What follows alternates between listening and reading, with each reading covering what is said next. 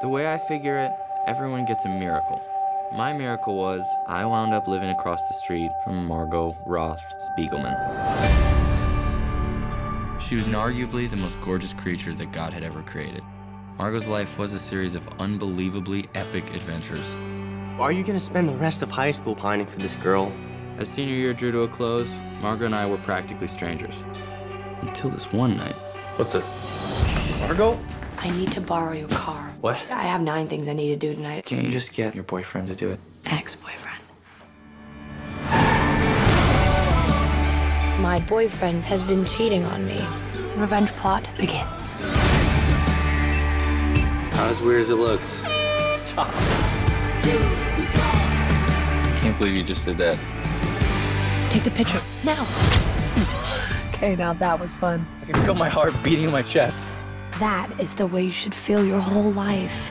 It's beautiful. It's a paper town, paper houses and paper people. Everything's uglier up close. Not you. You think it's gonna be different in the morning? I really hope so. Margo always loved mysteries. Maybe she loved them so much, she became one. She's gone. When was the last time you saw Margo? You were with her her last night. It has to mean something. There's something in Margo's window. She left little clues, like breadcrumbs. I found something. I think she's sending you a message. Come find me. We're trying so hard. You'll go to the paper towns and you'll never come back. I think I know where she might be. I'm going with you. If she's going, I'm, I'm definitely going.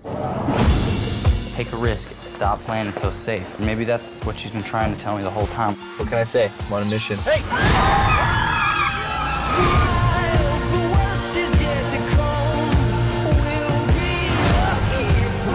You love her, right? Yeah, I do.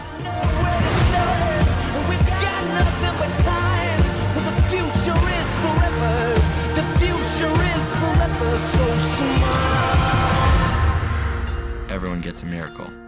My miracle is Margo Roth Spiegelman.